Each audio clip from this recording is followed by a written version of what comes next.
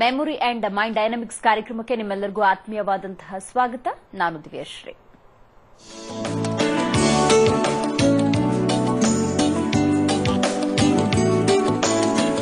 ಮನಯೇವ ಮನುಷ್ಯಾಣಂ ಕಾರಣಂ ಬಂದ ಮೋಕ್ಷಯು. ಈ ಮಾತು ಅಕ್ಷರಶಃ ಸತ್ಯ ಅಂತಾನೆ ಹೇಳ್ಬೋದು. ಯಾಕಂದ್ರೆ ಮನಸ್ಸಲ್ಲಿರುವಂತಹ ಶಕ್ತಿ, ನಮ್ಮ ಉನ್ನತಿ ಮತ್ತು ಅವನತಿಗೆ ಮನಸ್ಸು ಯಾವ ರೀತಿ ಕಾರಣ ಆಗಿದೆ ಅನ್ನೋದ್ರ ಬಗ್ಗೆ ನೀವೆಲ್ಲರೂ ಕೂಡ ತಿಳ್ಕೊಳ್ತಾ ಇದ್ದೀರಿ ಈ ರೀತಿಯ ಕಾರ್ಯಕ್ರಮಗಳಲ್ಲಿ. ಅದರ ಅದರ ಪವರ್ ಬಗ್ಗೆ ನಾವು ಇವತ್ತಿನ ಕಾರ್ಯಕ್ರಮದಲ್ಲಿ ತಿಳಿಸ್ಕೊಡ್ತೀವಿ. ಎಸ್ ಇದ್ರ ಬಗ್ಗೆ ತಿಳಿಸ್ಕೊಡೋದಕ್ಕೆ ನಮ್ಮ ಜೊತೆ ಇದ್ದಾರೆ ಮೆಮೊರಿ ಮ್ಯಾನೇಜ್ಮೆಂಟ್ ಎಕ್ಸ್ಪರ್ಟ್ ಹಾಗೆಯೇ director of Indian institute of mind ಡೈನಾಮಿಕ್ಸ್ನ mister Manjunath ಇದ್ದಾರೆ. ಕಾರ್ಯಕ್ರಮಕ್ಕೆ ಸ್ವಾಗತ ನಿಮಗೆ. ನಮಸ್ಕಾರ ಎಲ್ಲರಿಗೂ. ನಾನು ಆರಂಭದಲ್ಲೇ ಒಂದು ಮಾತನ್ನ ಹೇಳಿದೆ. ಉನ್ನತಿ ಮತ್ತು ಅವನತಿಗೆ ಮೈಂಡ್ ಯಾವ ರೀತಿ ಕಾರಣ ಆಗುತ್ತೆ ಅಂತ ಹೇಳಿ. ನೀವೇನ್ ಹೇಳ್ತೀರಿ? ನಿಮ್ಮ ಇನ್ಸ್ಟಿಟ್ಯೂಟ್ ಬಗ್ಗೆ ಏನ್ ಹೇಳ್ತೀರಿ? ಯಾಕೆ ಇದೇ ತೀಮನ ನೀವು ಇಟ್ಕೊಂಡ್ರಿ ಅಂತ? ಡೆಫಿನೆಟ್ಲಿ ಸೊ ಈಗ ಏನಾಗುತ್ತೆ? ಏನೇ ನಾವು ಕೆಲಸ ಮಾಡಬೇಕಾದ್ರೂ ಮನಸ್ಸು ಅನ್ನೋದು ಮೈಂಡ್ ಅನ್ನೋದು ವೆರಿ ಇಂಪಾರ್ಟೆಂಟ್ ಸೊ ನಾವು ವಿದ್ಯಾರ್ಥಿಗಳಾಗಿರ್ಬೋದು, ದೊಡ್ಡವರಾಗಿರ್ಬೋದು, ಯಾವುದೇ ತರದ ವರ್ಗ ವರ್ಗದವರು ಆಗಿರ್ಬೋದು, ಅವ್ರಿಗೆ ಮನಸ್ಸನ್ನು ಹಿಂಗೆ ಹತೋಟಿಯಲ್ಲಿ ಇಟ್ಕೊಬೇಕು. How to control our mind if you know that everything is easy so ನಮ್ಮ ಸಂಸ್ಥೆಯಲ್ಲಿ ಮೇನ್ ಮಾಡ್ತಾ ಇರೋದು ಇದನ್ನೇ ನಾವು. ಹೇಗೆ ವಿದ್ಯಾರ್ಥಿಗಳಿಗೆ, ಹೇಗೆ ದೊಡ್ಡವರಿಗೆ ಡಿಫ್ರೆಂಟ್ ವರ್ಗದವರಿಗೆ take a control of your mind study well and enjoy so ಈಗ ಏನಾಗುತ್ತೆ, ನಮ್ಮ ಸ್ಕೂಲಲ್ಲಿ ಏನಾಗುತ್ತೆ ಕೆರಿಕ್ಯುಲಮ್ ಡಿಫ್ರೆಂಟ್ ಕೆರಿಕ್ಯುಲಮ್ಸ್ ಇರುತ್ತೆ. ನಾವು ಸೈನ್ಸ್ ಓದ್ತೀವಿ ಮ್ಯಾಥಮೆಟಿಕ್ಸ್ ಓದ್ತೀವಿ ಡಿಫ್ರೆಂಟ್ ಸಬ್ಜೆಕ್ಟ್ ಓದ್ತೀವಿ. ಅಂಡ್ ಆಲ್ಸೋ ಪೇರೆಂಟ್ಸ್ ಆಗಿರ್ಬೋದು ಟೀಚರ್ಸ್ ಆಗಿರ್ಬೋದು ಎಲ್ಲ ನಾವು ಹೇಳೋದು ಚೆನ್ನಾಗಿ ಓದಿ ಒಳ್ಳೆ ಸ್ಕೋರ್ ಮಾಡಿ. ಬಟ್ ನಾವು ಯಾವಾಗ ಹೇಳ್ಕೊಡ್ತಿಲ್ಲ ಅವ್ರಿಗೆ ಹೇಗೆ ಓದಬೇಕು ಅಂತ. ಹೇಗೆ ಓದಿದ್ರೆ ಚೆನ್ನಾಗೆ ಸ್ಕೋರ್ ಬರುತ್ತೆ, ಹೇಗೆ ಓದಿದ್ರೆ ಖುಷಿಯಾಗಿ ಓದ್ಬೋದು. ಎಂಡ್ ಆಫ್ ದ ಡೇ ಖುಷಿಯಾಗಿರ್ಬೇಕು. ಕಷ್ಟಪಟ್ಟು ಓದ್ಬೇಡಿ, ಇಷ್ಟಪಟ್ಟು ಓದಿ. So it's a unique program ನಾವು ಮಾಡ್ತಾ ಇರೋದು. It's a unique in terms of study skills and mind dynamics so ಸ್ಕೂಲಲ್ಲಿ ಸಬ್ಜೆಕ್ಟ್ ಹೋದ್ರೆ ನಮ್ಮಲ್ಲಿ ಬರೋ ವಿದ್ಯಾರ್ಥಿಗಳಿಗೆ ಹೇಗೆ ಅದನ್ನ ಸ್ಟಡಿ ಮಾಡ್ಬೋದು ಈಸಿಯಾಗಿ ಹೇಗೆ ಸ್ಟಡಿ ಮಾಡ್ಬೋದು. ಸೊ ಹೇಗೆ ಮೈಂಡ್ ಕಂಟ್ರೋಲ್ ಮಾಡ್ಬೋದು. ವರ್ಷ ಎಲ್ಲ ಓದಿದ್ದು ಎಕ್ಸಾಮ್ ಟೈಮಲ್ಲಿ ಏನಕ್ಕೆ ಮರ್ತೋಗುತ್ತೆ. ಸೊ ಇದಕ್ಕೆಲ್ಲ ಸೊಲ್ಯೂಷನ್ ಕೊಡ್ತಾ ಹೋದ್ರೆ ವಿದ್ಯಾರ್ಥಿಗಳು ದೇ ಬಿಕಮ್ ವೆರಿ ಸ್ಟ್ರಾಂಗ್ ಅದನ್ನೇ ನಾವು ಸಂಸ್ಥೆಯಲ್ಲಿ ಮಾಡ್ತಾ ಇರೋದು. ಸೊ ನನ್ನ ಜೊತೆ ಡಾಕ್ಟರ್ ಕೃಷ್ಣಮೂರ್ತಿ ಸಂಸ್ಥೆಯ ಸಂಸ್ಥಾಪಕರು. So more than ten years ಇಂದ ಡಿಫ್ರೆಂಟ್ ಸ್ಕೂಲ್ಸ್ ಕಾಲೇಜಸ್ ನಮ್ಮ ಸಂಸ್ಥೆಯಲ್ಲಿ ಟ್ರೈನಿಂಗ್ ಕೊಡ್ತಾ ಬಂದಿದ್ದೀವಿ. ಮಕ್ಕಳು ಎಂಜಾಯ್ ಮಾಡ್ತಿದ್ದಾರೆ. So that's what we are doing ಖಂಡಿತವಾಗ್ಲು. ಏನಾಗುತ್ತೆ ಅಂದ್ರೆ ಈ ಥಿಯರಿ ನೀವೇನ್ ಹೇಳಿದ್ರಿ ಅದನ್ನ ಇಂಪ್ಲಿಮೆಂಟೇಷನ್ ತುಂಬಾ ಮುಖ್ಯ ಆಗುತ್ತೆ. ಬಟ್ ಆ ಕಾನ್ಸೆಪ್ಟ್ ಗೊತ್ತಿದ್ರು ಕೂಡ ಎಷ್ಟೋ ಸ್ಟೂಡೆಂಟ್ಸ್ ಇವತ್ತಿಗೂ ಫೇಲ್ ಆಗ್ತಾ ಇದ್ದಾರೆ. ಅವ್ರು ಅನ್ಕೊಂಡಿದ್ದಾಗ್ತಾ ಇಲ್ಲ. ಇದ್ರ ಬಗ್ಗೆ ಏನ್ ಹೇಳ್ತೀರಿ ಅಂತ? ಡೆಫಿನೆಟ್ಲಿ ಒಂದು ವಿದ್ಯಾರ್ಥಿ ಫೇಲ್ ಆಗ್ತಾರೆ ಅಂದ್ರೆ ಏನ್ ಇಂಪಾರ್ಟೆಂಟ್ ವಿಷಯ ಇದೆ ಅಲ್ಲಿ? Because according to neuro science according to ನಮ್ದು ಸ್ಟಡಿ ಪ್ರಕಾರ ಎವ್ರಿ ಚೈಲ್ಡ್ ಬಾಲ್ ಜೀನಿಯಸ್ ಅಂತ ಹೇಳ್ತೀವಿ. ಅಂದ್ರೆ ಯಾವುದೇ ಮಗು ಹುಟ್ಟಬೇಕಾದ್ರೆ ಜೀನಿಯಸ್ ಆಗಿರುತ್ತೆ. ಏನಕ್ಕೆ ಮಗು- ಫೇಲ್ ಆಗುತ್ತೆ? ಕೆಲವು ಮಗು ಮಾತ್ರ ಸ್ಕೋರ್ ಮಾಡುತ್ತೆ. ಅದು ಇಂಪಾರ್ಟೆಂಟ್ ನಾವು ಅದನ್ನ ಅನಲೈಸ್ ಮಾಡಿ ಅದು ರಿಸರ್ಚ್ ಮಾಡಿ ಬರಬೇಕಾದ್ರೆ ನಮ್ಗೆ ಅನ್ಸಿದ್ದು main important is three concept ಇದೆ ಅದರಲ್ಲಿ so register recall and retain ಅಂತ. ದಟ್ಸ್ ವಾಟ್ ವಿ ಇನ್ವೆಂಟೆಡ್ ನಮ್ ಸರ್ ಇನ್ವೆಂಟ್ ಮಾಡಿದ್ದು ತ್ರೀ ಡೈಮೆನ್ಷನಲ್ ಮೆಮೊರಿ ಸಿಸ್ಟಮ್ ಅಂತ. ಸೊ ಏನೇ ನಾವು ಸ್ಟಡಿ ಮಾಡಬೇಕಾದ್ರೆ ಹೇಗೆ ರಿಜಿಸ್ಟರ್ ಮಾಡ್ತೀವಿ. ಅದನ್ನ ಹೇಗೆ ರಿಟೈನ್ ಮಾಡ್ತೀವಿ ಹೇಗೆ ರೀಕಾಲ್ ಮಾಡ್ತೀವಿ. ಇಟ್ಸ್ ಎ ವೆರಿ ಇಂಪಾರ್ಟೆಂಟ್ ಈ ಫಂಡಮೆಂಟಲ್ಸ್ ಗೊತ್ತಾಯ್ತು ಅಂದ್ರೆ ಯಾರು ಫೇಲ್ ಆಗಲ್ಲ. So for example how to register ಒಂದು ಕ್ವಿಕ್ ನಾನು ಎಕ್ಸಾಂಪಲ್ ಕೊಡಬೇಕಾದ್ರೆ ಒಂದು ಮಗು ತಾಜ್ ಮಹಲ್ ನೋಡಕ್ ಹೋಗ್ಬೇಕು. ಸೊ ಈಸ್ ವೆರಿ ಎಂತು ವೆರಿ ಇಂಟ್ರೆಸ್ಟಿಂಗ್ ಸೊ ನಾಳೆ ಹೋಗ್ಬೇಕಂದ್ರೆ ಕಂಪ್ಲೀಟ್ ನೈಟ್ ನಿದ್ದೆ ಬರಲ್ಲ. ಟೈಮ್ ನೋಡ್ತಾ ಇರ್ತಾರೆ. ಯಾವಾಗ ಮಾರ್ನಿಂಗ್ ಆಗುತ್ತೆ ಯಾವಾಗ ತಾಜ್ ಮಹಲ್ ನೋಡಕ್ ಹೋಗ್ತೀವಿ. ಸೊ ಮಾರ್ನಿಂಗ್ ಎದ್ರು ಬಸ್ ಆರ್ ಟ್ರೈನ್ ಅಲ್ಲಿ ಹೋಗಿ ತಾಜ್ ಮಹಲ್ ರೀಚ್ ಆಗ್ತಾರೆ.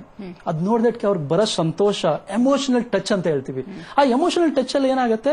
ಕಂಪ್ಲೀಟ್ ಈಸಿಯಾಗಿ ಮೆಮೊರೈಸ್ ಆಗುತ್ತೆ long term we no need any repetition ಅದನ್ನೇ ನಾವು ಟೆಕ್ಸ್ಟ್ ಬುಕ್ ಅಲ್ಲಿ ಮಾಡಬೇಕು. How to give that emotional touch along with studies ಅದು first fundamentals register and retain ನಾವು ಈಗ ಓದಿದ್ದನ್ನ next six months to one year ಹೇಗೆ ರೀಟೈನ್ ಮಾಡಬೇಕು? ಅದಕ್ಕೆ ಕೆಲವು ಟೆಕ್ನಿಕ್ಸ್ ಇದೆ ಫಂಡಮೆಂಟಲ್ಸ್ ಇದೆ. Then recall right information at right time how to recall if student ಈ ತ್ರೀ ಫಂಡಮೆಂಟಲ್ಸ್ ಗೊತ್ತಿದ್ರೆ they will no never forget any subject any fundamentals and ಈಸಿಯಾಗಿ ಬರಿಬಹುದು ಎಂಜಾಯ್ ಮಾಡಬಹುದು ಖಂಡಿತ ಈಗ ಒಂದು ಪಿಕ್ಚರ್ ಹೇಳಿದ್ರೆ ತಾಜ್ ಮಹಲ್ ತಾಜ್ ಮಹಲ್ ಅನ್ನೋದು ಪಿಕ್ಚರ್ ಅದನ್ನ ರಿಕಾಲ್ ಮಾಡೋದು ಮೇ ಬಿ ಟಿಲ್ ಎಂಡ್ ನಾವು ಅದನ್ನ ನೆನ್ಪಿಟ್ಕೋಬಹುದು it is a textbook textbook ಅಂತ ಹೇಳಿದ್ರೆ around two hundred three hundred pages ಅದನ್ನ ಒಂದು ಮೈಂಡ್ ಅಲ್ಲಿ ಫಿಕ್ಸ್ ಮಾಡ್ಕೊಳ್ಳೋದು. ಅದನ್ನ ಎಕ್ಸಾಮ್ ಟೈಮ್ ಅಲ್ಲಿ ಅದು ರಿಕಾಲ್ ಆಗೋದು ಅಂತ ಹೇಳಿದ್ರೆ ಒಂಥರ ಅಮೇಸಿಂಗ್ ನಿಜಕ್ಕೂ ಅಮೇಸಿಂಗ್ ಬಟ್ ಆ ಟೆಕ್ನಿಕ್ಸ್ ಯಾವ ರೀತಿ ಇಂಪ್ಲಿಮೆಂಟ್ ಮಾಡ್ತೀರಿ? ಸ್ಟೂಡೆಂಟ್ ಅದನ್ನ ಯಾವ ರೀತಿ ತಗೊಳ್ತಾರೆ? ಯಾಕಂದ್ರೆ ನಿಮ್ಮ ಹತ್ರ ಬರೋ ಸ್ಟೂಡೆಂಟ್ಸ್ ಅವರದೇ ಆದಂತಹ ಒಂದು ರೀಡಿಂಗ್ ಪದ್ಧತಿಗಳನ್ನ ರೂಢಿಸ್ಕೊಂಡು ಬಂದಿರ್ತಾರೆ. ಬಟ್ ನಿಮ್ ಹತ್ರ ಬರ್ಬೇಕಾದ್ರೆ ಸಮ್ ಡಿಫ್ರೆನ್ಸ್ ಇರುತ್ತೆ. ಅದನ್ನ ಅವ್ರು ಹೇಗೆ ಕ್ಯಾಚ್ ಮಾಡ್ತಾರೆ ಅಂತ. ಓಕೆ ಬೇಸಿಕಲಿ ಈಗ ಏನಾಗುತ್ತೆ? ನಮ್ಮ ಯಾರೇ ವಿದ್ಯಾರ್ಥಿಗಳು ಯಾರೇ ಆಗಲಿ. So three types of learning ಅಂತ ಇರ್ತೀವಿ first one is a visual learner so ಒಂದು ವಿದ್ಯಾರ್ಥಿಗೆ ಪಿಕ್ಚರ್ ತೋರಿಸಿದ್ರೆ ಮೂವಿ ತೋರಿಸಿದ್ರೆ ಈಸಿಯಾಗಿ ಮೆಮೊರೈಸ್ ಮಾಡ್ತಾನೆ. ಸೆಕೆಂಡ್ ಟೈಪ್ ಆಫ್ ವಿದ್ಯಾರ್ಥಿ ಆಡಿಟೋರಿ ಅಂತ ಹೇಳ್ತೀವಿ. ಅವನಿಗೆ ಕೇಳಿದ್ರೆ ಪಾಠ ಕೇಳಿದ್ದಾಗಿರ್ಬೋದು ಆಗಿರ್ಬೋದು ಏನೋ ಆಡಿಯೋ ಕೇಳ್ದಾಗಿರ್ಬೋದು ಈಸಿಯಾಗಿ ಮೆಮೊರೈಸ್ ಮಾಡ್ತಾರೆ. Third type it is kinesthetic ಅವ್ರಿಗೆ ಆಕ್ಟಿವಿಟಿ ಮಾಡಬೇಕು activity based touch and feel ಅವ್ರಿಗೆ ತೋರಿಸಿದ್ರೆ ಅದು ಈಸಿಯಾಗಿ ಮೆಮೊರೈಸ್ ಆಗ್ತಾರೆ. ಸೊ ಈ ತ್ರೀ ವಿದ್ಯಾರ್ಥಿಗಳಿಗೆ ನಾವು ಏ ತರ ಟೀಚ್ ಮಾಡಬಹುದು ಅದನ್ನೇ ನಾವು ಫಂಡಮೆಂಟಲ್ ಕೊಡೋದು. ಒಂದ್ ಸೆಕೆಂಡ್ ನಾನು ಹೇಳ್ಬೇಕಾದ್ರೆ ಈಗ ಮೂವಿ ನೋಡಿರ್ಬೋದು ತಾಜ್ ಮಹಲ್ ಹೇಗೆ ಮೆಮೊರೈಸ್ ಆಗಿರುತ್ತೆ? ಬಿಕಾಸ್ ಅಲ್ಲಿ ಪಿಕ್ಚರ್ ಇರುತ್ತೆ. ಅದರಲ್ಲಿ ಎಮೋಷನ್ಸ್ ಇರುತ್ತೆ. ಅದರಲ್ಲಿ ಫೈಟಿಂಗ್ಸ್ ಇರುತ್ತೆ. ಮೂವಿಗೆ ಹೋದ್ರೆ ಫೈಟಿಂಗ್ಸ್ ಇರುತ್ತೆ ಪಿಕ್ಚರ್ಸ್ ಇರುತ್ತೆ. ಆಗೇನಾಗುತ್ತೆ ಈಸಿಯಾಗಿ ಮೆಮೊರೈಸ್ ಆಗುತ್ತೆ. Along with emotional touch very important so ಅದನ್ನೇ ನಾವು ಟೆಕ್ಸ್ಟ್ ಬುಕ್ ಅಲ್ಲೇ ಮಾಡ್ತಾ ಇರೋದು. Take any textbook formula ಆಗಿರ್ಬೋದು ಡೆರಿವೇಶನ್ಸ್ ಆಗಿರ್ಬೋದು ಕೀ ವರ್ಡ್ಸ್ ಆಗಿರ್ಬೋದು ಕಾಂಪ್ಲಿಕೇಟೆಡ್ ವರ್ಡ್ಸ್ ಆಗಿರ್ಬೋದು. ನಾವು ಅದನ್ನ ಆ ಟೈಪ್ ಮಕ್ಳಿಗೆ ಹೇಳ್ತಾ ಇದೀವಿ. ಸಿಂಪ್ಲಿಫೈ ಮಾಡಿ ಹೇಳ್ತಾ ಇದೀವಿ. ಅವಾಗ ಏನ್ ಮಾಡ್ತಾರೆ ಮಗು? ಪಿಕ್ಚರ್ ತರ ನೋಡ್ತಾರೆ ಮೂವಿ ತರ ನೋಡ್ತಾರೆ. ಓಕೆ ಓಕೆ ಈಗ ನೀವು ಹೇಳಿದ್ರೆ ಕ್ಯಾನಸ್ಥೆಟಿಕ್ ಇರ್ಬೋದು ಆಡಿಟರ್ ಇರ್ಬೋದು ನೀವು ಅದನ್ನ ಒಬ್ಬ ಸ್ಟೂಡೆಂಟ್ ನಿಮ್ಮ ಹತ್ರ ಬರ್ತಾರೆ ಅಂತ ಹೇಳಿದ್ರೆ ಒಂದು ಐವತ್ತು ಜನ ಬರ್ತಾರೋ ಅಂದ್ರೆ ನೀವು ಅವ್ರನ್ನ ಡಿವೈಡ್ ಮಾಡ್ತೀರಿ ಡಯಾಗ್ನೋಸ್ ಮಾಡ್ತೀರಿ. Exact initially we do that so first students ಏನ್ ಪ್ರಾಬ್ಲಮ್ ಇದೆ ಅಂತ ಅಂಡರ್ಸ್ಟ್ಯಾಂಡ್ ಮಾಡ್ತೀವಿ. ಸೊ ಈಗ ತಂದೆ ತಾಯಿ ಜೊತೆ ವಿದ್ಯಾರ್ಥಿ ಬಂದ್ರೆ ಅವ್ರಿಗೆ ಫಸ್ಟ್ ಕ್ವಶನ್ ಹೇಳೋದೇ ಅದು. ನಮ್ಮ ಮಗುಗೆ ಕಾನ್ಸಂಟ್ರೇಷನ್ ಇಲ್ಲ. ಅವ್ನ್ ಫೋಕಸ್ ಮಾಡ್ತಾ ಇಲ್ಲ. ಓದೋದ್ ಬಿಟ್ಟು ಎಲ್ಲಾ ಮಾಡ್ತಾ ಇದ್ದಾನೆ. ಸೊ ಮೂವಿ ಈಸಿಯಾಗಿ ಮೆಮೊರೈಸ್ ಆಗುತ್ತೆ. ಟಿವಿ ಸೀರಿಯಲ್ ಈಸಿಯಾಗಿ ಮೆಮೊರೈಸ್ ಮಾಡ್ತಾನೆ. ಆದ್ರೆ ಓದೋದ್ ಮಾತ್ರ ಇಲ್ಲ. ಸೊ ಫಸ್ಟ್ ನಾವ್ ಅನಲೈಸ್ ಮಾಡ್ತೀವಿ. ಏನ್ ಮಗು ಯಾವ ತರ ಲರ್ನಿಂಗ್ ಇದು? ಮತ್ತೆ ಯಾವ ತರ ಅವ್ನಿಗೆ ಎಮೋಷನಲ್ ಕಂಟ್ರೋಲ್ ಇದೆ? ಅಂದ್ರೆ ವರ್ಷ ಎಲ್ಲ ಓದ್ ಎಕ್ಸಾಮ್ಗೆ ಏನ್ ಮಾಡ್ತಾ ಹೋಗುತ್ತಾರೆ ಅಂದ್ರೆ ಅವ್ರಿಗೆ ಭಯ ಇರುತ್ತೆ. ಫಿಯರ್ ಅಂಡ್ ಫೋಬಿಯಾ ಅಂತ ಹೇಳ್ತೀವಿ. ಅದು ಹೇಗಿದೆ? ಇದು ಐಡೆಂಟಿಫೈ ಮಾಡಿದ್ರೆ ವೆರಿ ಈಸಿ ಇದರ ತಂದೆ ತಾಯಿಗೆ ನಾವು ಇದನ್ನೇ ಟೀಚ್ ಮಾಡೋದು. ಈಗ ನಾವು ಸೆಮಿನಾರ್ ಅಲ್ಲೂ ಅದೇ ಮಾಡ್ತಾ ಇರೋದು. Sunday every Sunday three o'clock ಇರುತ್ತೆ. ತಂದೆ ತಾಯಿ ಮತ್ತೆ ವಿದ್ಯಾರ್ಥಿ ಜೊತೆ ಬಂದ್ರೆ ನಾವು ಇದನ್ನೇ ಕೋಚಿಂಗ್ ಮಾಡೋದು. ಇದೇ ಕೌನ್ಸಿಲಿಂಗ್ ಮಾಡೋದು. ತಂದೆ ತಾಯಿಗಾದ್ರೆ ಯಾವ ತರ ಸ್ಟೂಡೆಂಟ್ಸ್ಗೆ ಗೈಡ್ ಮಾಡಬೇಕು? ಜಸ್ಟ್ ಓದಿ ಅನ್ನೋದ್ರೆ ಇಟ್ಸ್ ವೆರಿ ಡಿಫಿಕಲ್ಟ್ ಮಕ್ಕಳು ಓದಕ್ಕೆ. ಯಾವ ತರ ಓದಿ? ಸೊ ಅದನ್ನ ಅವ್ರು ಕೋಚ್ ಮಾಡಬೇಕಾಗುತ್ತೆ. ವಿದ್ಯಾರ್ಥಿಗಳು ಅಷ್ಟೇ. ಯಾವ ತರ ಓದಿದ್ರೆ ಅವ್ರಿಗೆ ಈಸಿಯಾಗಿ ಮೆಮೊರೈಸ್ ಆಗುತ್ತೆ. So this is what we are doing ಖಂಡಿತ. ಸಂಡೇ ಸೆಮಿನಾರ್ನಲ್ಲಿ ಏನಾಗುತ್ತೆ? ಅಂದ್ರೆ ಎಷ್ಟು ಹೊತ್ತು ನೀವು ಟೀಚ್ ಮಾಡ್ತೀರಿ? ಯಾಕೆ ಪೇರೆಂಟ್ಸ್ ಜೊತೆನೆ ಬರಬೇಕು ಅನ್ನೋದ್ರ ಬಗ್ಗೆ ಮಾಹಿತಿ ಕೊಡಿ. ಓಕೆ ಡೆಫಿನೆಟ್ಲಿ ಸೊ ಈಗ ನಾವು ಎವ್ರಿ ಸಂಡೇ ಏನ್ ಮಾಡ್ತಾ ಇದೀವಿ ಅಂದ್ರೆ ತಂದೆ ತಾಯಿ ಜೊತೆ ವಿದ್ಯಾರ್ಥಿ ಯಾರು ವಿದ್ಯಾರ್ಥಿ ಜೊತೆ ಪೇರೆಂಟ್ಸ್ ಬಂದ್ರೆ ಫಸ್ಟ್ ವಿದ್ಯಾರ್ಥಿಗಳಿಗೆ ಏನ್ ಪ್ರಾಬ್ಲಮ್ ಇದೆ? ಅವನಿಗೆ ಮೆಮೊರೈಸ್ ಮಾಡಕ್ಕಾಗ್ತಾ ಇಲ್ವಾ? ಕಾನ್ಸಂಟ್ರೇಷನ್ ಮಾಡಕ್ಕಾಗ್ತಾ ಇಲ್ವಾ? ಇಲ್ಲ ಸಬ್ಜೆಕ್ಟ್ ಇಂಟ್ರೆಸ್ಟ್ ಇಲ್ವಾ? ಫಾರ್ ಎಕ್ಸಾಂಪಲ್ ಹೇಳ್ತಾರೆ ನನಗೆ ಮ್ಯಾಥಮೆಟಿಕ್ಸ್ ಇಂಟ್ರೆಸ್ಟ್ ಇಲ್ಲ. ಸೈನ್ಸ್ ನನಗೆ ಓದಕ್ಕಾಗ್ತಾ ಇಲ್ಲ. ಸೊ ಆ ತರ ಮಕ್ಕಳಿಗೆ ಯಾವ ತರ ಟ್ಯೂನ್ ಮಾಡ್ಬೋದು? ಸೊ ಯಾವ ತರ ಅವ್ರಿಗೆ ಇಂಟ್ರೆಸ್ಟ್ ಆಗೋಕ್ ಕೊಡೋದು? ಈ ತರ ಫಸ್ಟ್ ನಾವು ಕೋಚಿಂಗ್ ಮಾಡ್ತೀವಿ ವಿದ್ಯಾರ್ಥಿಗಳಿಗೆ. ತಂದೆ ತಾಯಿಗೂ ಅಷ್ಟೇ, ಯಾವ ತರ ಅವ್ರಿಗೆ ಗೈಡ್ ಮಾಡಬೇಕು? ಯಾವ್ಯಾವ ಏಜ್ ಅಲ್ಲಿ ಯಾವ ತರ ಗೈಡ್ ಮಾಡಬಹುದು ಟೆನ್ ಇಯರ್ಸ್ ಸ್ಟೂಡೆಂಟ್ಸ್ಗೆ ಯಾವ ತರ ಗೈಡ್ ಮಾಡೋದು? ಪಿ ಯು ಸಿ ಸ್ಟೂಡೆಂಟ್ ಯಾವ ತರ ಅದ್ ಮೆಚುರಿಟಿ ಬಂದ್ಮೇಲೆ ಯಾವ ತರ ಗೈಡ್ ಮಾಡಬೇಕು. ಆ ತರ ಇಬ್ಬರಿಗೂ ಕೋಚಿಂಗ್ ಇರೋದ್ರಿಂದ ಇಬ್ಬರಿಗೂ ಕೌನ್ಸಿಲಿಂಗ್ ಇರೋದ್ರಿಂದ ನಾವು ಅದಕ್ಕೆ ತಂದೆ ತಾಯಿ ಜೊತೆ ವಿದ್ಯಾರ್ಥಿ ಬನ್ನಿ ನಮ್ಮ ಸಂಸ್ಥೆಗೆ. ನಾನು ಮತ್ತೆ ಡಾಕ್ಟರ್ ಕೃಷ್ಣಮೂರ್ತಿ ಇಬ್ಬರು ಇರ್ತೀವಿ. ಸೊ ಕೋಚಿಂಗ್ ಮಾಡ್ತೀವಿ ಕೌನ್ಸಿಲಿಂಗ್ ಮಾಡ್ತೀವಿ ಈ ಸಬ್ಜೆಕ್ಟ್ ಬಗ್ಗೆ ಕ್ಲಾರಿಟಿ ಕೊಡ್ತೀವಿ. ಖಂಡಿತ ಖಂಡಿತ. ಇದ್ರ ಬಗ್ಗೆ ಮಾಹಿತಿಯನ್ನು ಪಡ್ಕೊಳ್ತೀನಿ. ಸೊ ವೀಕ್ಷಕರೇ ನೀವು ಕೂಡ ಕಾರ್ಯಕ್ರಮವನ್ನ ನೋಡ್ತಾ ಇದ್ದೀರಿ. ಈ ಕಾರ್ಯಕ್ರಮ ಹೇಳೋದಷ್ಟೇ ನಿಮ್ಮ ಮನಸ್ಸಿನ ಬಗ್ಗೆ ಆ ಪವರ್ ಬಗ್ಗೆ. ಮಕ್ಕಳ ಕಾನ್ಸಂಟ್ರೇಷನ್ ಇಂಪ್ರೂವ್ ಆಗಬೇಕು ಒಳ್ಳೆ ಸ್ಕೋರ್ ಮಾಡಬೇಕು ತಮ್ಮ ಭವಿಷ್ಯವನ್ನ ಉಜ್ವಲ ಮಾಡ್ಕೊಳ್ಬೇಕು ಅನ್ನುವಂತಹ ನಿಟ್ಟಿನಲ್ಲಿ ಕಾರ್ಯಕ್ರಮ ಜರುಗ್ತಾ ಇದೆ. ಸೊ ನೀವು ಕೂಡ ಈ ಕಾರ್ಯಕ್ರಮಕ್ಕೆ ಕರೆ ಮಾಡಬಹುದು. ನಿಮ್ಮ ಪ್ರಶ್ನೆಗಳಿಗೆ ಸೂಕ್ತ ಉತ್ತರವನ್ನು ಪಡ್ಕೊಳ್ಬಹುದು. ಇದೇ ರೀತಿ ಟ್ರೈನಿಂಗ್ ತೆಗೆದುಕೊಂಡಂತಹ ಒಬ್ಬ ವಿದ್ಯಾರ್ಥಿ ಮಾತಾಡ್ತಾರೆ. ಬನ್ನಿ ಕೇಳೋಣ. ಇಲ್ಲಿಗೆ ತ್ರೀ ವೀಕ್ಸ್ ಎಗೋ ಜಾಯ್ನ್ ಆಗಿದೆ. ತ್ರೀ ವೀಕ್ಸ್ ಎಗೋ ನಂದು percentage seventy seventy eighty around ಇತ್ತು. ಈಗ ಮೊನ್ನೆ ನಮ್ದು ಒಂದು ಟೆಸ್ಟ್ ನಡೀತು. ಆಗ ನನಗೆ ಆಶ್ಚರ್ಯ ಏಯ್ಟಿ ಎಬೋ ಬರ್ತಿದೆ. ಅದು ಸಖತ್ ಖುಷಿ ಆಗೋಯ್ತು. ಇಷ್ಟೊಂದು ಇಂಪ್ರೂವ್ ಆಗಿದ್ದೀನ ಅಂತ ನನಗೆ ನನಗೆ ನಂಬಕ್ಕಾಗ್ತಿಲ್ಲ. ಇಲ್ಲಿಗೆ ಬಂದ್ಮೇಲೆ ಕೃಷ್ಣ ಸರ್ ಮತ್ತೆ ಮಂಜುನಾಥ್ ಸರ್ ನಂಗೆ ಎಲ್ಲ ಗೈಡ್ ಮಾಡಿದ್ರು. ಆನ್ಸರ್ಸ್ನ ಹೆಂಗ್ ಮೆಮೊರೈಸ್ ಮಾಡೋದು ಅಂತ ಹೇಳ್ಕೊಟ್ರು. ಹಂಡ್ರೆಡ್ ವರ್ಡ್ಸ್ನ ನಾನು ಈಗ ಒಂದು ಶಾರ್ಟಲ್ಲಿ ಮೆಮೊರೈಸ್ ಮಾಡ್ತೀನಿ. ನಾನು ಈ ಕ್ಲಾಸ್ ಬರೋದು ಮುಂಚೆ I was really weak in memorising thing formulas and all the question and answers ಆಮೇಲೆ ಈ ಕ್ಲಾಸಲ್ಲಿ ಬಂದ ತಕ್ಷಣ ನಾನು ನಾವು I can memorise hundred words the keywords formulas then colours and history events and everything. Uh, thank you Manjunath sir and Krishna sir for teaching me all the techniques. Thank you.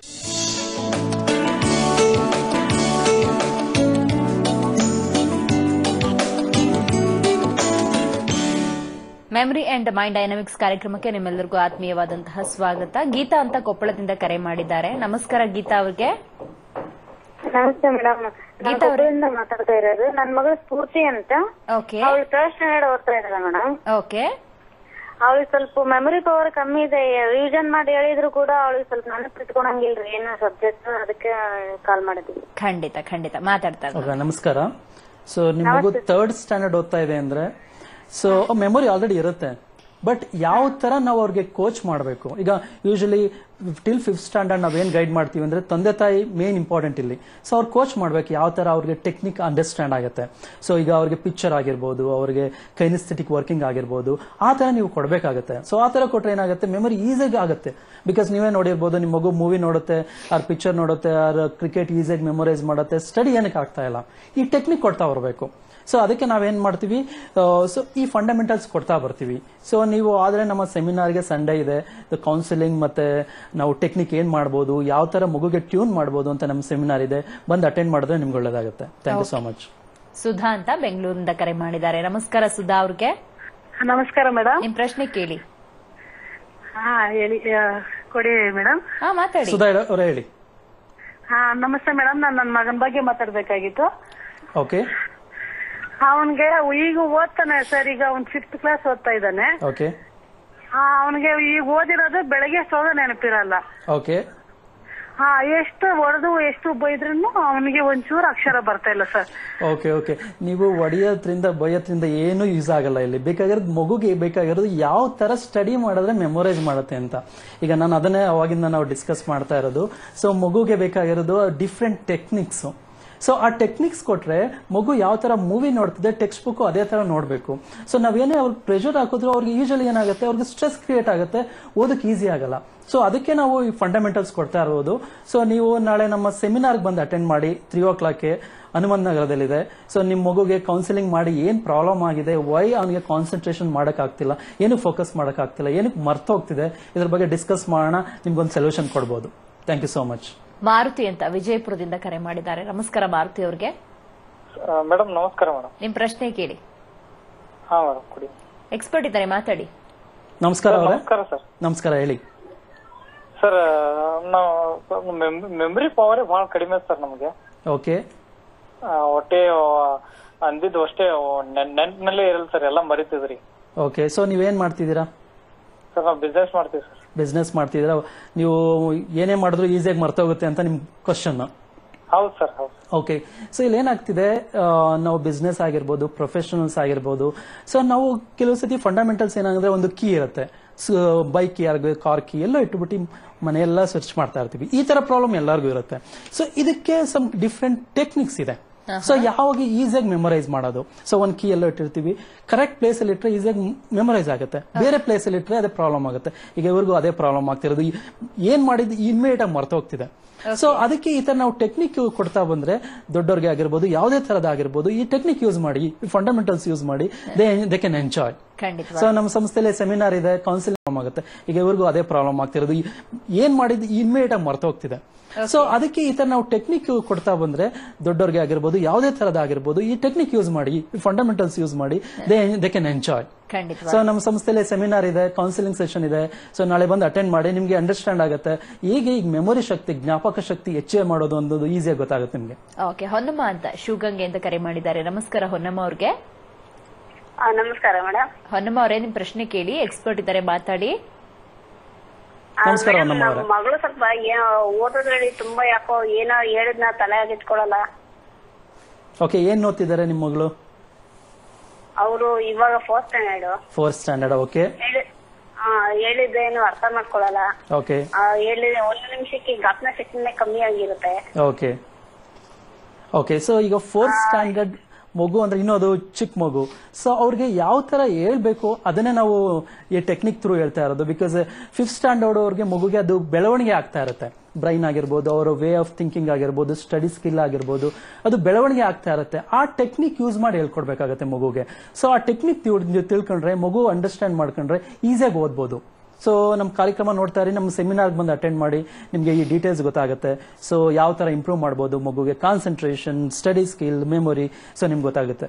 Okay ಈಗ students ಹೇಗಾಗಿದೆ ಅಂತ ಹೇಳಿದ್ರೆ L K G ಇರ್ಬೋದು U K G ಇರ್ಬೋದು ಅಥವಾ baby sitting ಇರ್ಬೋದು ಟೀಚರ್ಸ್ದು phobia ಮನೆಗೆ ಬಂದ್ರೆ ಪೇರೆಂಟ್ಸ್ ಭಯ ಅಂಡ್ ಎಕ್ಸಾಮ್ ಫೋಬಿಯಾ ಈ ತರ ಎಲ್ಲಾ ಕಡೆಯಿಂದನೂ ಒತ್ತಡ ಇದೆ ಒಂಥರ ಡಿಪ್ರೆಷನ್ಗೊಳಗಾಗುವಂತಹ ಸಿಚುವೇಶನ್ ಈ ಡಿಪ್ರೆಷನ್ಗಳಿಂದ ಈ ಸ್ಟ್ರೆಸ್ ಇಂದ ಮಗು ಮೊದಲನೇದಾಗಿ ಹೊರಗಡೆ ಬರಬೇಕು. ಅಂಡ್ ಅದು ಫ್ರೀ ಬರ್ಡ್ ತರ ಇರಬೇಕು. ಸೊ ಈ ನಿಟ್ಟಿನಲ್ಲಿ ಒಂದು ಸಣ್ಣ ಕೌನ್ಸಿಲಿಂಗ್ ಒಂದು ಮಗುಗೆ ಅಗತ್ಯ ಇರುತ್ತೆ. ಈ ತರ ಕೆಲವೊಂದು ಸ್ಟ್ರೆಸ್ ಒಳಗಿರುವಂತಹ ಸ್ಟೂಡೆಂಟ್ಸ್ನ ನಿಮ್ ಕಡೆ ತಂದ್ರೆ, ಅವರು ಅವರ ಸ್ಟ್ರೆಸ್ನಿಂದ ಹೇಗೆ ಹೊರಗಡೆ ಬರಬಹುದು? ಡೆಫಿನೆಟ್ಲಿ ಟಿಲ್ ಫಿಫ್ತ್ ಸ್ಟ್ಯಾಂಡರ್ಡ್ ಅಂತ ಪ್ರೆಷರ್ ಕೊಡೋದು ನೆಸೆಸಿಟಿ ಇಲ್ಲ. ಬಿಕಾಸ್ ಬೆಳವಣಿಗೆ ಆಗ್ತಾ ಇರುತ್ತೆ ಮಗುಗೆ. ಅದ್ ಮಗು ತಿಳ್ಕೊಳ್ಬೇಕಾದ್ರೆ ತುಂಬಾ ಇರುತ್ತೆ. ಸೊ ನಾವೇನ್ ಮಾಡ್ತೀವಿ ಈಗ ಫಸ್ಟ್ ಸ್ಟ್ಯಾಂಡರ್ಡ್ ಆಗಿರ್ಬೋದು ಎಲ್ ಕೆ ಜಿ ಆಗಿರ್ಬೋದು ತುಂಬಾ ಸ್ಟ್ರೆಸ್ ಕೊಟ್ರೆ ಅವ್ರದ್ದು ಟ್ಯಾಲೆಂಟ್ ಅವ್ರ ಇನ್ಬಾರ್ನ್ ಟ್ಯಾಲೆಂಟ್ ಅಂತ ಹೇಳ್ತೀವಿ. ಅದು ಬೇರೆ ಡೈವರ್ಟ್ ಆಗುತ್ತೆ. ಇನ್ಸ್ಟೆಡ್ ಆಫ್ ದಟ್ ಆ ಮಗುಗೆ ಏನ್ ಟ್ಯಾಲೆಂಟ್ ಇದೆ? ಅದಕ್ಕೆ ಸ್ಟಡಿಲಿ ಇದೆಯಾ ಕ್ರಿಕೆಟ್ ಅಲ್ಲಿ ಇದೆಯಾ ಸ್ಪೋರ್ಟ್ಸ್ ಅಲ್ಲಿ ಇದೆಯಾ ಮ್ಯೂಸಿಕ್ ಅಲ್ಲಿ ಇದೆಯಾ ಇದನ್ನ ಐಡೆಂಟಿಫೈ ಮಾಡಬೇಕಾಗತ್ತೆ. ಥ್ರೂ ದಟ್ ಎಜುಕೇಶನ್ ಕೊಡಿ.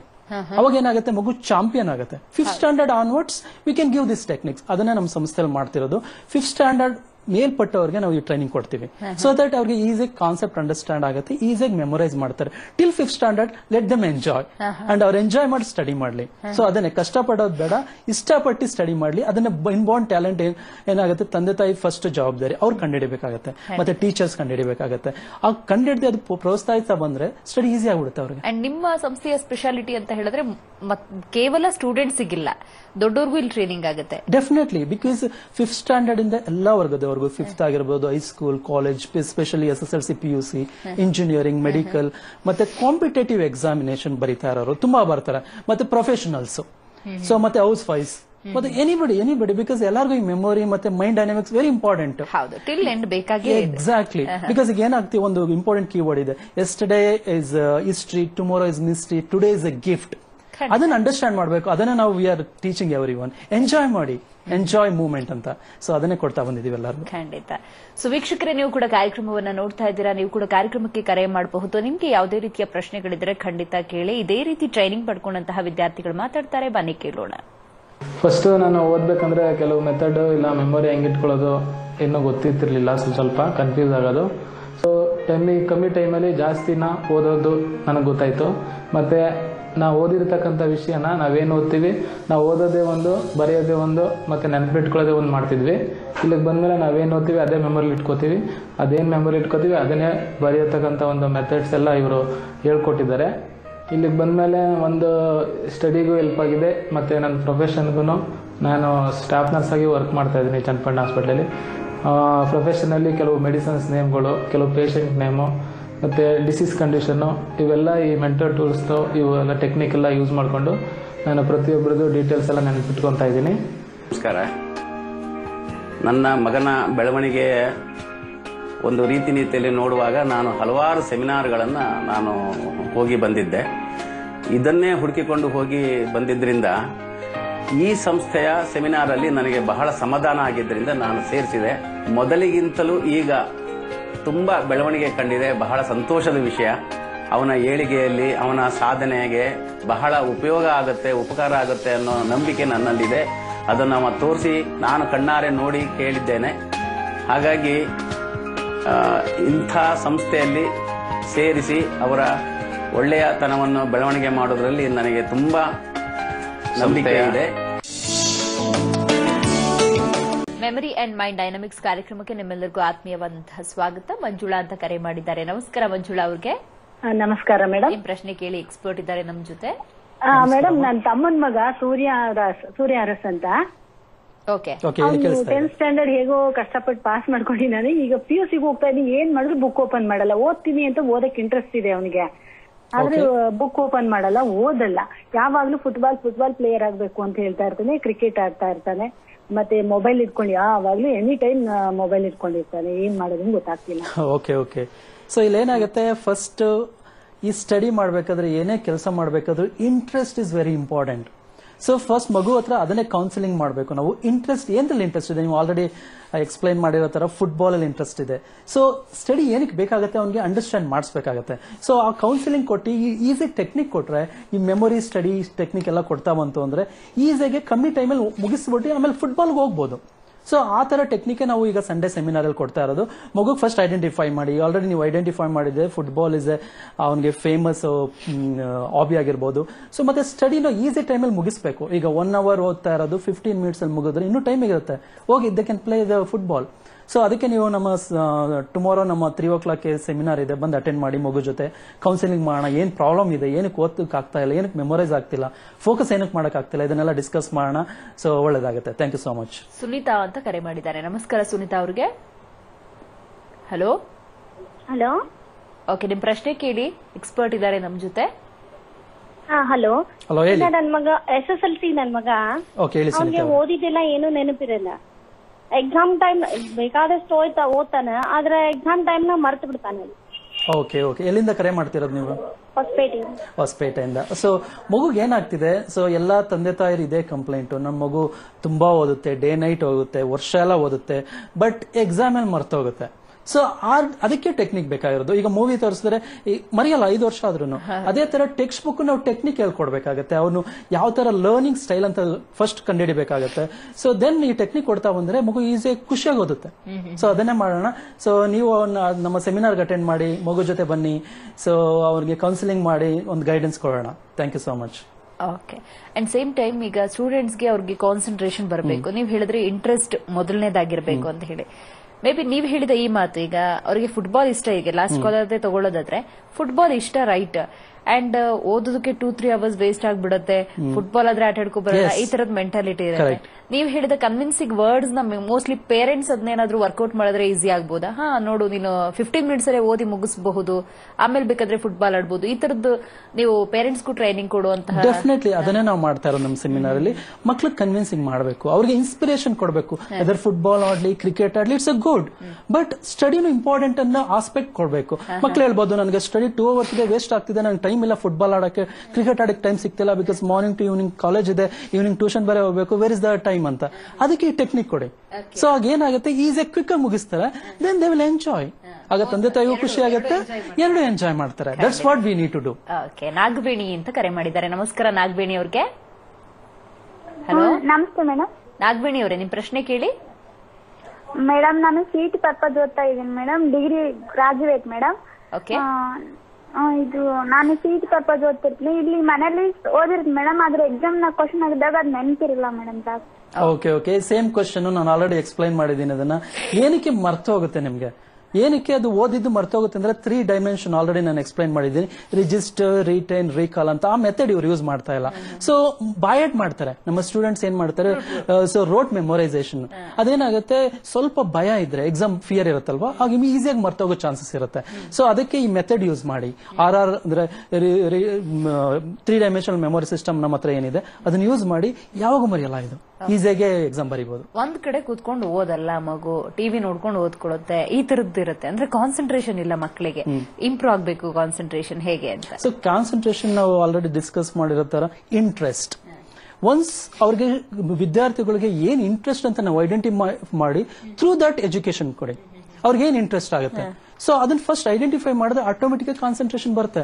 ಸೊ ಈಗ ನಮ್ಮ ಮಗು ಒಂದು ಬುಕ್ ಮುಂದೆ ಕೂತಿರುತ್ತೆ, ಅವ್ನ ಮೈಂಡ್ ಎಲ್ಲೋ ಸುತ್ತಾ ಇರುತ್ತೆ. ಕ್ರಿಕೆಟ್ ಅಲ್ಲಿ ಇರುತ್ತೆ ಸ್ಕೂಲಲ್ಲಿ ಇರುತ್ತೆ ಫ್ರೆಂಡ್ಸ್ ಜೊತೆ ಮಾತಾಡ್ತಾ ಇರುತ್ತೆ ಬುಕ್ ಮಾತ್ರ ನೋಡ್ತಾ ಇರ್ತಾನೆ ಫಿಸಿಕಲಿ ಸೊ ಅದನ್ನ ಅವಾಯ್ಡ್ ಮಾಡಬೇಕು. So physically mentally they have to sit and study ಅವಾಗ ಇನ್ಸ್ಟೆಡ್ ಆಫ್ ಟೂ ಅವರ್ಸ್ ಹೋದ ಬದಲು ಹಾಫ್ ಅನ್ ಅವರ್ ಅಲ್ಲಿ ಮುಗಿತೆ. ಬಟ್ ಈ ಟೆಕ್ನಿಕಲ್ ಅದೇ ಫಂಡಮೆಂಟಲ್ ನಾವು ಯೂಸ್ ಮಾಡ್ತಿರೋದು. ಸೊ ಅದೇನಾಗುತ್ತೆ? ಅವನಿಗೆ ಖುಷಿ ಆಗೋ ತರ ನಾವು ಅದನ್ನ ಬುಕ್ನ ಸಿಂಪ್ಲಿಫೈ ಮಾಡ್ಕೊಡ್ತೀವಿ. Any subject any complicated subject simplify ಮಾಡ್ಕೊಡೋದ್ರಿಂದ ಏನಾಗುತ್ತೆ? ಮಗು ಕಾನ್ಸಂಟ್ರೇಷನ್ ಎಲ್ಲೂ ಹೋಗಲ್ಲ. ಈಸಿಯಾಗಿ ಅಲ್ಲೇ ಫೋಕಸ್ ಆಗುತ್ತೆ. ಈಗ ಅವ್ರೇನ್ ಸ್ಟಡಿ ಮಾಡ್ತಾ ಇದಾರೆ ಅದೇ ಸಿಗುತ್ತೆ. ಅದೇ ಸಿಗುತ್ತೆ. ಖಂಡಿತ ವೆರಿ ಸಿಂಪಲ್ ಇವತ್ತಿನ ಕಾರ್ಯಕ್ರಮದಲ್ಲಿ ಏನ್ ಟಿಪ್ಸ್ ಹೇಳ್ಕೊಡ್ತಾ ಇದೆ ಡೆಫಿನೆಟ್ ಆಗಿ ಸೊ ನಮ್ಮ ವಿದ್ಯಾರ್ಥಿಗಳು ಆಗಿರ್ಬೋದು ಎಲ್ಲ ಇದಾರೆ S L C P U C long answers ಇರುತ್ತೆ. ದೇ ಆರ್ ಫೈಂಡಿಂಗ್ ಡಿಫಿಕಲ್ಟೀಸ್ ತುಂಬಾ ಲಾಂಗ್ ಆನ್ಸರ್ ಇದೆ. ನಾನು ಮೆಮೊರೈಸ್ ಮಾಡಕ್ ಆಗ್ತಾ ಇಲ್ಲ. ಸಮ್ಮರಿ ತರ ಈಸಿಯಾಗಿ ಹೆಂಗ್ ಮೆಮೊರೈಸ್ ಮಾಡೋದು? ನಾವು ಯೂಶಲಿ ಹೇಳ್ತೀವಿ ಇದಕ್ಕೆ A B I O technique ಅಂತ. ಅಂದ್ರೆ visualisation imagination and linking association ಅಂತ. ಈ ಮೆಥಡ್ ಯೂಸ್ ಮಾಡಿದ್ರೆ ಎಂತ ಲಾಂಗ್ ಆನ್ಸರ್ ಈಸಿಯಾಗಿ ಮೆಮೊರೈಸ್ ಮಾಡಬಹುದು. ಕ್ವಿಕ್ ಟಿಪ್ಸ್ ಏನಂದ್ರೆ ನೀವು ಒಂದು ಸಿಕ್ಸ್ ಲೈನ್ ಆನ್ಸರ್ ಇದೆ. ಇನ್ನು ಏನ್ ಮಾಡ್ಬೇಕಾಗತ್ತೆ? ಎವ್ರಿ ಲೈನ್ ಒಂದು ಕೀವರ್ಡ್ ಪಿಕಪ್ ಮಾಡ್ಬೇಕಾಗತ್ತೆ. ಸೊ ಬಿಕಾಸ್ ಏನಾಗುತ್ತೆ ಒಂದು ಪೇಜ್ ಅಲ್ಲಿ ಒಂದು ಮೆಸೇಜ್ ಇರುತ್ತೆ ಒಂದು ಪ್ಯಾರಾಗ್ರಾಫ್ ಅಲ್ಲಿ ಒಂದು ಕಾನ್ಸೆಪ್ಟ್ ಇರುತ್ತೆ ಎವ್ರಿ ಲೈನ್ ಅಲ್ಲಿ ಒಂದು ಕೀವರ್ಡ್ ಇರುತ್ತೆ. ಅದನ್ನ ಪಿಕಪ್ ಮಾಡಬೇಕಾಗುತ್ತೆ. Every line keyword pick up ಮಾಡಿ ಒನ್ ಬೈ ಒನ್ ಬರ್ಕೊಳ್ಳಿ. ಅದನ್ನ ಬರ್ದಾದ್ಮೇಲೆ ಅದನ್ನ ವಿಜುವಲೈಸ್ ಮಾಡಬೇಕು. ಈಗ ಟೆನ್ ವರ್ಡ್ ಸಿಕ್ತು ಸಿಕ್ಸ್ ಲೈನ್ ಅಲ್ಲಿ. ಅದನ್ನು ವಿಜುವಲೈಸ್ ಮಾಡಬೇಕಾಗತ್ತೆ. ಸೊ ವಿಜುವಲೈಸೇಷನ್ ಟೆಕ್ನಿಕ್ ಅದು ಎ ಬಿ ಐ ಅಂತ ನಾವು ಹೇಳೋದು. For example first word tree ಅಂತ ಇದೆ. ಸೆಕೆಂಡ್ ವರ್ಡ್ ಬಕೆಟ್ ಅಂತ ಇದೆ. ಏನ್ ಮಾಡಬೇಕು? ಅದನ್ನ ವಿಜುವಲೈಸ್ ಮಾಡಿ. ಒಂದು ಬಿಗ್ ಟ್ರೀ ಇದೆ. ಅಲ್ಲಿ instead of fruits buckets are hanging third word computer ಅಂತ ಇದೆ. Visualise computer sitting below the tree ಅಂತ ವಿಜುವಲೈಸ್ ಮಾಡಿ. Next word telephone computer is talking telephone visualise ಮಾಡಿ it's imagination pure imagination and funny ಆಗೂ ಇದೆ funny ಆಗಿರುತ್ತೆ. ಅವಾಗ ten keywords ಇದ್ರೆ ಈಸಿಯಾಗಿ ಮೆಮೊರೈಸ್ ಆಗುತ್ತೆ. Then go back to this paragraph ಅದು ಇನ್ನೊಂದ್ಸತಿ ಅಂಡರ್ಸ್ಟ್ಯಾಂಡ್ ಮಾಡಿ ಓದಿ ಅದನ್ನ. ನೆಕ್ಸ್ಟ್ ಟೈಮ್ ಏನ್ ಮಾಡಬೇಕಾಗುತ್ತೆ ಜಸ್ಟ್ ಆ ಕೀವರ್ಡ್ ಮೆಮೊರೈಸ್ ಮಾಡಿದ್ರೆ ಸಾಕು ಕಂಪ್ಲೀಟ್ ಲೈನ್ ಬರುತ್ತೆ ನಮಗೆ. ಎಕ್ಸಾಮ್ ಅಲ್ಲಿ ಈಸಿಯಾಗಿ ಬರೀಬಹುದು and also we I need to give one more tips five revision principle ಅಂತ. ಅಂದ್ರೆ ಏನೇ ಸಬ್ಜೆಕ್ಟ್ ಓದಿದ್ರು ನಾವು ಫೈವ್ ಟೈಮ್ಸ್ ರಿವೈಸ್ ಮಾಡಬೇಕಾಗುತ್ತೆ. ಈಗ ಫಸ್ಟ್ ಈಗ ಓದಿರ್ತೀವಿ ಟ್ವೆಂಟಿ ಫೋರ್ ಅವರ್ಸ್ ಆದ್ಮೇಲೆ ರಿವೈಸ್ ಮಾಡಿ. Revise is nothing but complete book ಓದೋ ನೆಸೆಸಿಟಿ ಇಲ್ಲ. Just mentally revise two minutes then one week ಆದ್ಮೇಲೆ ರಿವೈಸ್ ಮಾಡಿ. ಒನ್ ಮಂತ್ ಆದ್ಮೇಲೆ ರಿವೈಸ್ ಮಾಡಿ. ಸೊ ಥ್ರೂ ಔಟ್ ಲೈಫ್ ಅದನ್ನ ಮೆಮೊರೈಸ್ ಆಗಿರುತ್ತೆ. ಯೂಸ್ ಮಾಡಿ ಟ್ರೈ ಮಾಡಿ ಇದನ್ನ. ಖಂಡಿತ. ಥ್ಯಾಂಕ್ ಯು ಸೊ ಮಚ್ ಭಾಗಿಯಾದ್ರಿ. ಸಾಕಷ್ಟು ಮಾಹಿತಿಯನ್ನ ನೀಡಿದ್ರಿ. ಥ್ಯಾಂಕ್ ಯು ಸೋ ಮಚ್ ನಮಸ್ಕಾರ ಎಲ್ಲರಿಗೂ. ಸೊ ನೋಡಿದ್ರಲ್ಲ ವೀಕ್ಷಕರ ಇವತ್ತಿನ ಕಾರ್ಯಕ್ರಮವನ್ನ ನಿಮ್ಮ ಮೈಂಡ್ ಅನ್ನ ಪವರ್ಫುಲ್ ಆಗಿ ಮಾಡ್ಕೊಳ್ಳೋದು ಹೇಗೆ ಅಂತ ತಿಳ್ಕೊಂಡಿರ್ತೀರಿ. ಅದರ ಜೊತೆಗೆ ಸಂಡೆ ನಡೆಯುವಂತಹ ಸೆಮಿನಾರ್ನಲ್ಲಿ ನೀವು ಕೂಡ ಭಾಗಿಯಾಗಿ ಪೇರೆಂಟ್ಸ್ ಆಗಿದ್ರೆ ಮಕ್ಕಳ ಜೊತೆ ಭಾಗಿಯಾಗಿ, ಮಕ್ಕಳಾಗಿದ್ರೆ ನಿಮ್ಮ ಪೇರೆಂಟ್ಸ್ ಅನ್ನ ಕರ್ಕೊಂಡ್ ಬನ್ನಿ ಸೆಮಿನಾರ್ನಲ್ಲಿ ಭಾಗಿಯಾಗಿ ಅದರ ಉಪಯೋಗವನ್ನ ಪಡ್ಕೊಳ್ಳಿ ಅಂತ ಹೇಳ್ತಾ ಇಂದಿನ ಕಾರ್ಯಕ್ರಮವನ್ನು ಮುಗಿಸ್ತಾ ಇದ್ದೀವಿ. ನೋಡ್ತಾ ಇರಿ, ಸರಳ ಜೀವನ, ಇದು ಮನುಕುಲದ ಒಳಿತಿಗಾಗಿ.